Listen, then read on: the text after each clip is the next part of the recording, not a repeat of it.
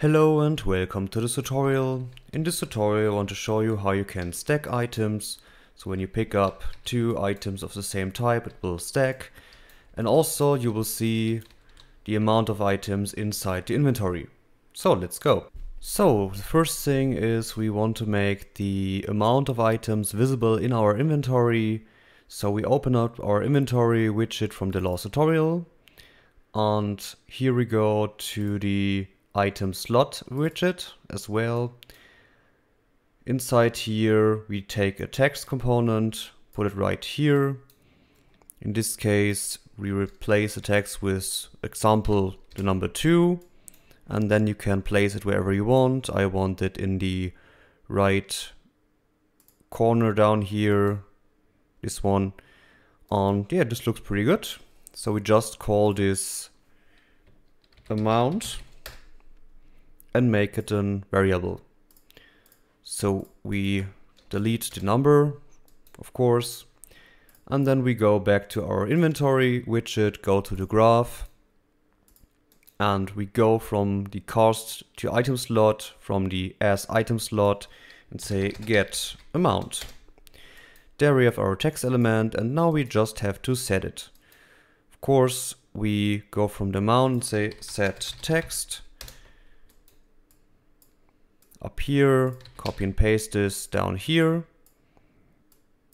like that, connect the target of course, and then we just go from the amount to the text and it will automatically convert the, the integer into a text.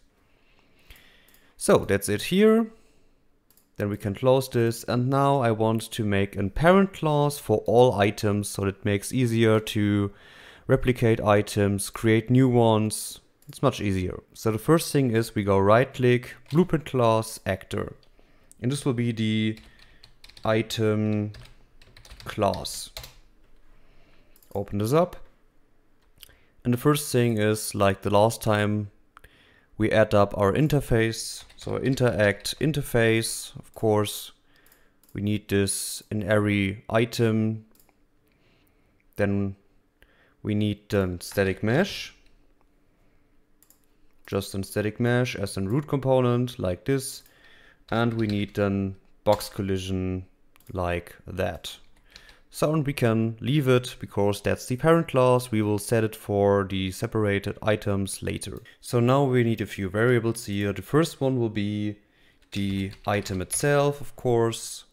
This will be our item structure that we created last time we just leave it to the default value and the second one will be the variable called contain. This will be just in boolean to see if it's already in our inventory. For this one we want a new function that will be called append item. So the append item will get two input values. So in the first place it will be the inventory itself. This will be an item structure as an array. The second one will be our character and this of course is our third person character object reference as a single variable like that. So from here we go for an for each loop with break, connect the array of course. From the array element we say break item and we get our item structure that we created. We go from the item here, get it, and again we say break item. So we have to compare the items inside our inventory with the item that we want to pick up. For this, we want to compare the name. So let's say equal text and compare the name in our inventory with the name of the item. For this, of course, we need a branch to ask, connect the loop body with the branch. And now we want to set the item actually. So we get it, set, and then we say right click, split structure pin. And now we are able to set each of these elements here.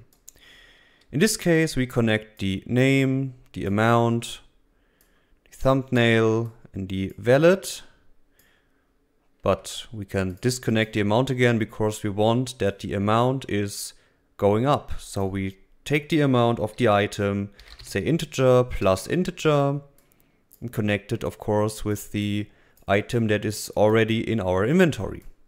Because it checks is the item already in our inventory, if it is, so in the true case, we want to set the amount plus the item that we picked up. Then, of course, we want to set the contain to true because it is contained. And at last, we take out the inventory again and say set array element. The target array is of course our inventory. The array index is the index. And our items, our return value here is the item that we want to set. From here on, we go to the break of the for each loop, compile and save this, and now we take out our contain boolean, get it, ask for branch of the complete. So if we go for the branch to see if it contains already the item in our inventory. If it does, we just destroy the actor then we go from the character, get the widget, and then we would just want to update our inventory. And we connect, of course, the inventory with the inventory.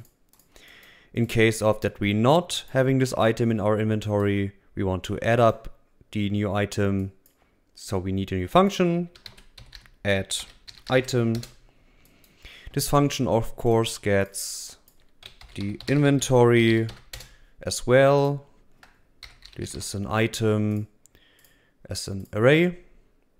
And the second input is the character, of course, as a third person character object reference single variable.